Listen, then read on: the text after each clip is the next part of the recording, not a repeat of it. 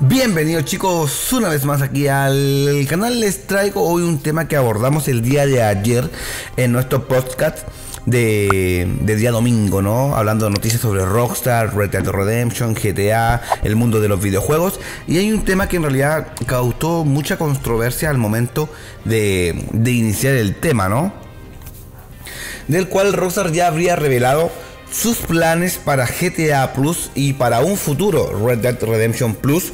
Para este caso, contenido de pago exclusivos con 3 meses de anticipación versus la versión libre, la versión normal, la versión donde la gente no tenga que estar suscrita para recibir en este caso el pago.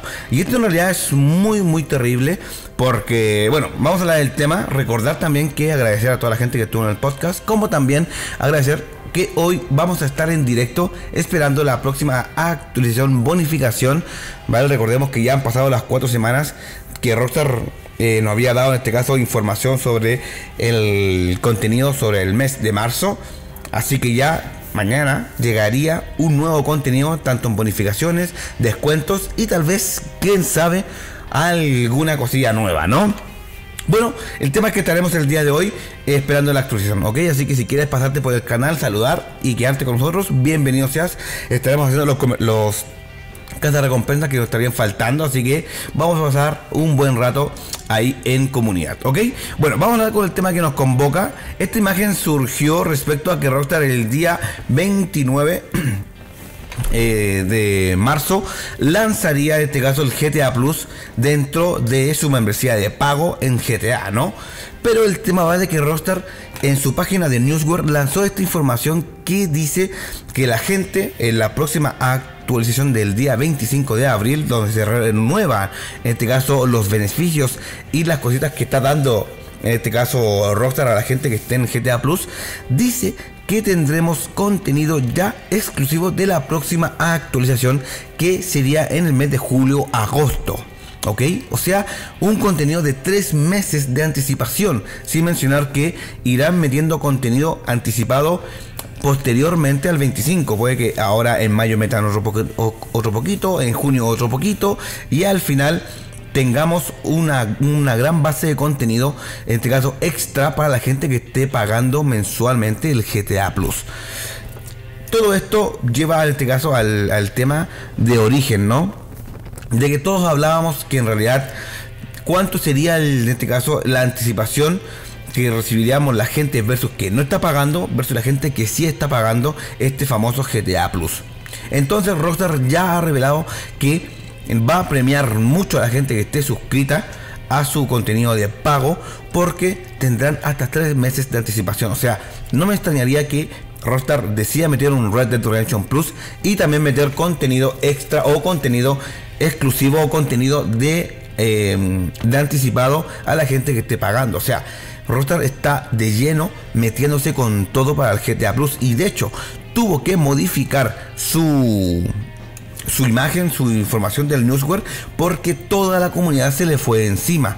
Toda la comunidad empezó a reclamar que era un pay to win, que cómo era posible, que toda la base de usuarios, que se estaban riéndose de los, de los videojugadores y todo el tema. Y Rockstar, ¿qué hizo?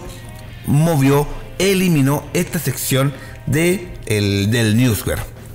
Si tú vas ahora directamente al, al newsware, no encontrarás esta parte que ahora sí podemos ver porque obviamente nos falta la gente que saca su pequeña imagen, su recorte y cosas por el estilo. Así que chicos, es súper preocupante, obviamente, comentar de que Rockstar se ha vuelto un Dutch 2.0. ¿vale? Está pensando totalmente en el dinero, ¿vale? Está bien, entendemos que es una compañía y que tiene que ganar, pero ya se está notando demasiado que se está metiéndose mucho las manos al bolsillo de los consumidores, de los videojugadores, de la gente que en realidad apoya a GTA.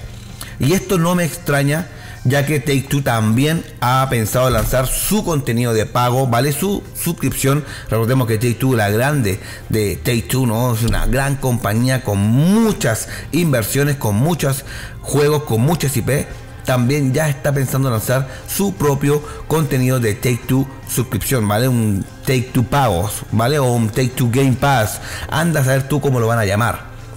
Obviamente la compañía madre está forzando a todas sus filiales dentro de ella, Rockstar Games, a incluir estos famosos contenidos de pago mensual. Suscripción chicos, así que afírmense la maldita billetera porque se viene.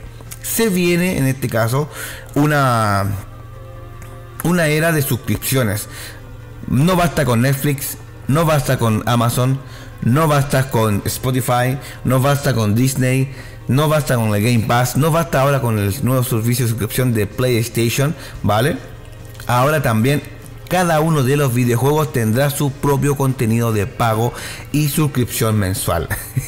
es que al final vamos a estar pagando weón, una cantidad de dinero todos los meses porque todos los servicios se vienen online.